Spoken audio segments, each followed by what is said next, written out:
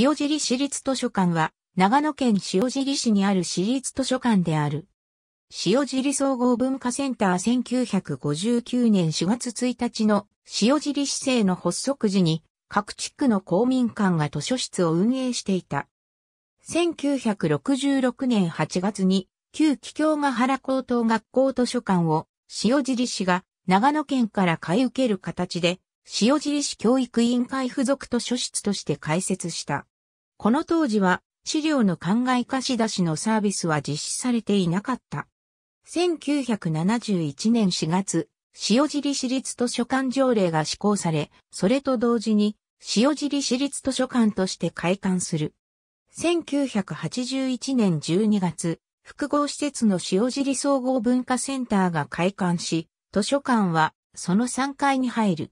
1983年の広岡文館に始まり、1988年の吉田文館まで市内の各地区に文館が設置され、1本館7文館体制となる。1990年、コンピュータシステムが導入される。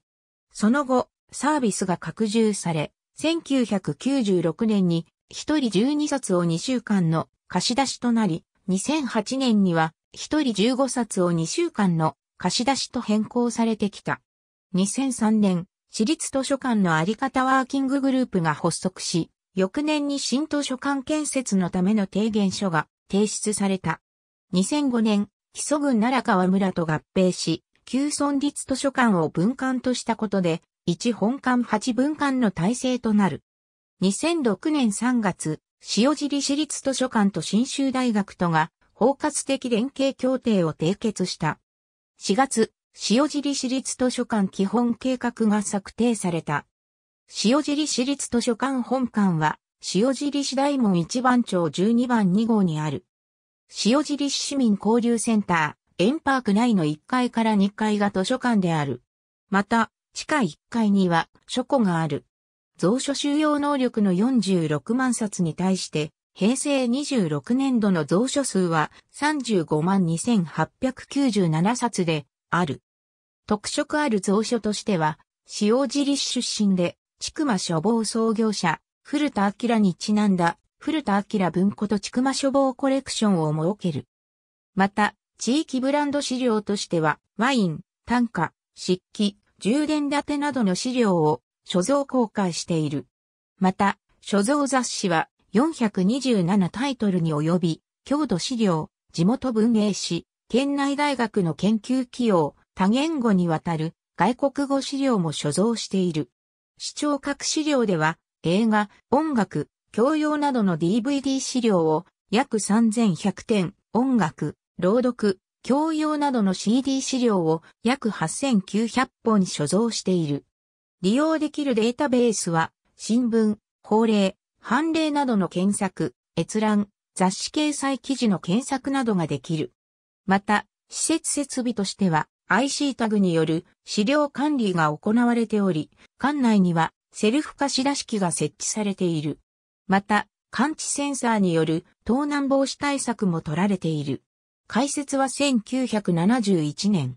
桔梗ヶ原高等学校図書館を1966年に移管解消した塩尻市教育委員会附属図書室が前身である。図書館条例の施行により、塩尻市立図書館として開館した。1981年に総合文化センターの3階に移転。さらに2010年、塩尻市民交流センター、エンパーク内に移転した。2012年から始まった著名な作家や文化人を招いて講演会などを開く事業である。年間を通して多彩な活動が実施されている。正式名称は、新州塩尻本の寺子屋。鳥取県米子市で実施されていた本の学校をモデルとして、長田洋一、文芸元編集長が提唱したもの。その趣旨は、図書館での諸々の事業によって、図書館と密接な本という媒体のことを深く考える機会を創造しようとするものであり、塩尻市立図書館中心に展開されている。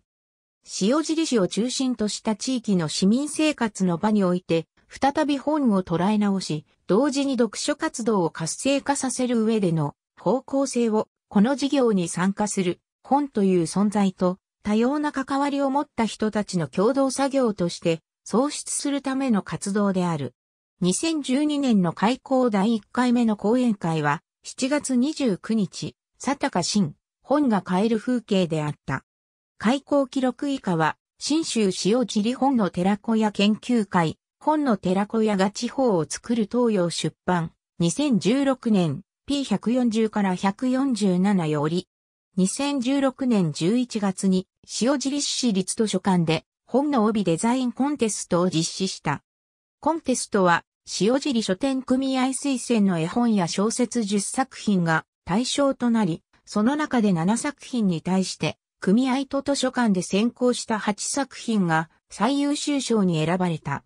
同年12月には、この最優秀賞作品が実際の本に巻かれた状態で市内の書店で並べられた。藤原印刷の協力によって、1作品につき20枚から40枚を印刷し、塩尻市内など組合加盟の書店に並ぶ市販本に巻かれて店頭に並べられた。丸文塩尻書店京文堂書店松本平田店、京文堂書店愛知店中島書店神田堂、塩尻市立図書館には本館のほか8カ所の分館がある。ありがとうございます。